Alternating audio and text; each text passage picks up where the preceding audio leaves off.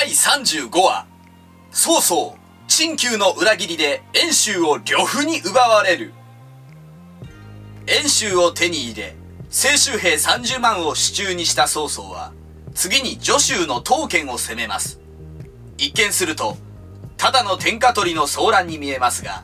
これは曹操にとって絶対に勝利しないといけない因縁の対決でした。曹操が絶対に勝利しないといけない理由。曹操には曹数というお金持ちの父がいました。不良息子であった曹操に手を焼きながらも曹数は息子のために要所要所では惜しみなく金と愛情を注いでくれた恩人です。しかし曹数は董卓の騒乱から逃れるために故郷から避難していた時牢屋国というところで刀剣の手にかかり殺害されます。三国志演義では劉備に城を譲る高校屋として描かれる刀剣ですが実際には暴虐な振る舞いが多く評判の芳しくない人物でした。刀剣は宗数を殺害してしまう。刀剣は宗数の持っているお金を目当てにした殺害でした。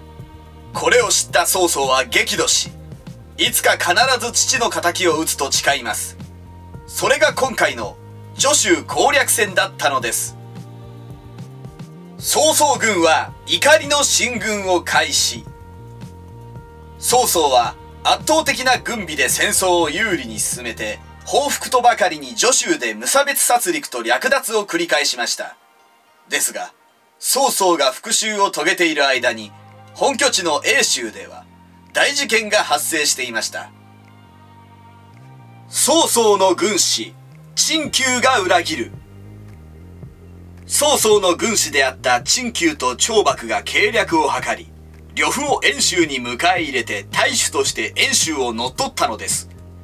陳旧はすでに遠州全土に根回しを済ませていて寝返らなかったのは順育と定育が守る本拠地の県城とあと2県だけです。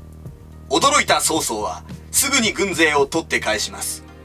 県城の順育と定育は呂布の苛烈な攻撃をしのぎ曹操が戻ってくるのを待ち続けます。ついに曹操と呂布は対峙する。さすがは名軍師として知られる両者は孤立無縁の中で頑張り抜き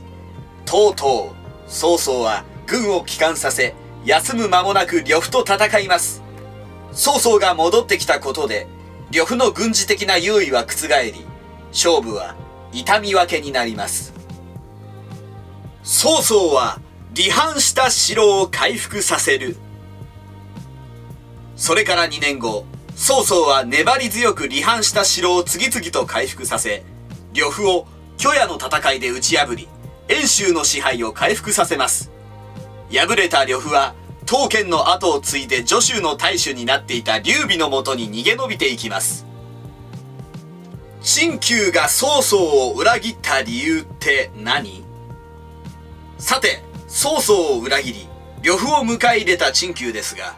自分を守るためならば平然と人を犠牲にする曹操を信じられなくなり裏切りを決意したと言われます。ところが陳旧が迎えた呂布はこれまた人を信じない自分の直感のみを頼りにする男でした。結局陳旧の策は呂布に用いられずそれが曹操の復活につながってしまったということのようです。陳旧は最後どうなったの？陳旧は捕まった後に曹操に再び使えるように説得されますが二度と戻ることなく曹操によって処刑されました。曹操が一度裏切った人物を再び用いるのは異例でありそれだけ陳旧の才能を買っていたのでしょう陳旧の不幸は自分が命を懸けて尽くそうとする理想的な主君に出会えなかったということかもしれません。